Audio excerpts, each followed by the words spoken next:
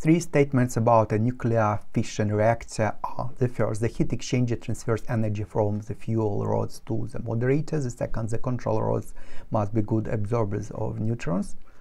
And the third, the moderator must slow uh, neutrons down, which statements about the reactor are correct. The purpose of a moderator is to slow neutrons down. Definitely, definitely it's uh, correct and the purpose of uh, control rods uh, is to uh, absorb extra neutrons also uh, the second is correct and the purpose of uh, the heat exchanger is uh, no it's not not transfers energy from the fuels to moderator not to moderator it looks like this.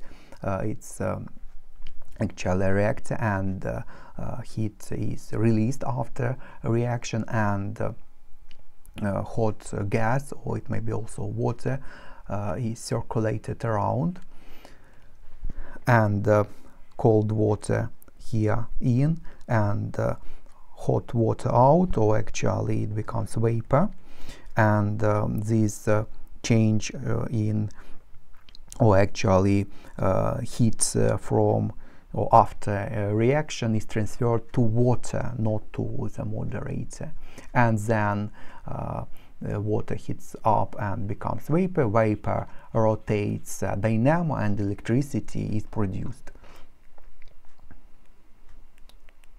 So 2 and 3 only, let's see. And that's all for this question.